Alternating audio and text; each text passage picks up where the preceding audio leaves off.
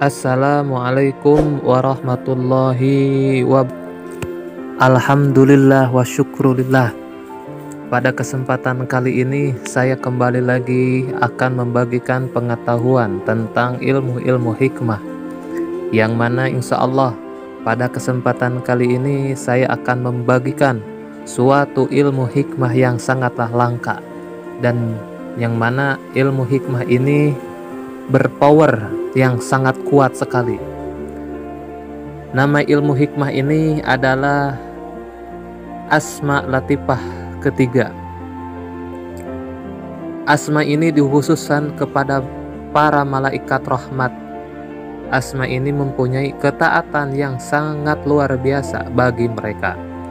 Dan asma-asma latifah ketiga ini lebih-lebih dikhususkan bagi malaikat Israfil alaihi salam. Dan asma-asma ini ditulis pula pada dahinya malaikat Israfil alaihissalam yang mendiami alam kudrat sebelah kanan. Kodam dari Asma ini merupakan para malaikat serba putih dan tangan-tangan mereka memegang tumbak yang berbendera terbuat dari cahaya putih bersinar terang. Inilah yang dimaksud Asma Latifah yang ketiga. Sahisin. Matatin. Mataitin. Saman. Saman. Syaimiman Bitayan. Yamkoyan. Hatulin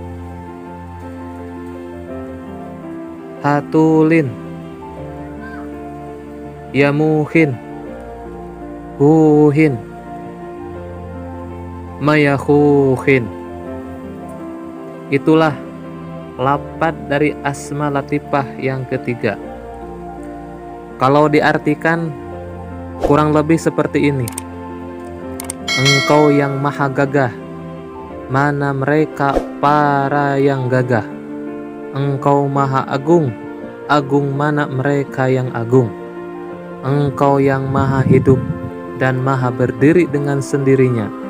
Wahai kalian sekumpulan khodam penolong, hadirlah dengan izin Allah subhanahu wa ta'ala. Itulah tafsir atau arti dari asma latifah ketiga.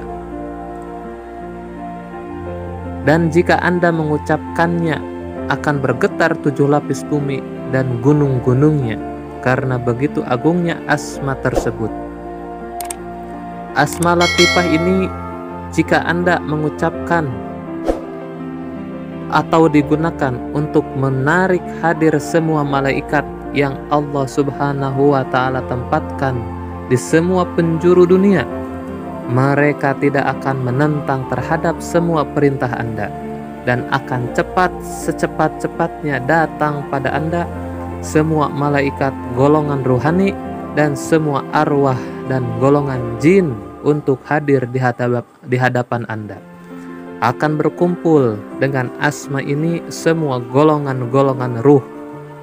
Dan apabila Anda bacakan asma tersebut di hadapan para pembesar yang gagah, maka tercengang dan heran kepada Anda serta bisu lidah-lidah mereka dan jika asma ini Anda bacakan di hadapan musuh-musuh Anda, orang hasud serta orang yang akan menganiaya, mereka akan kaget serta terkunci lidahnya. Asma ini dapat Anda gunakan atau bacakan untuk mengikat lidah, tidak bisa bicara, benteng, atau tameng dohir maupun tameng goib pada semua jenis penyakit membahayakan musuh dan lawan. Sesungguhnya, jika Anda bacakan asma tersebut, maka akan turun para malaikat yang bersinar di hadapan Anda. Pada tangan mereka terdapat pedang-pedang yang terbuat dari cahaya, yang menunggangi pasukan kuda yang juga terbuat dari cahaya. Mereka merupakan pasukan pelempar lembing atau tumbak yang akan Anda dapatkan perintahnya pada segala sesuatu seperti mengusir makhluk halus, mengusir jin, mengusir setan, serta mengusir iprit-iprit yang mengganggu.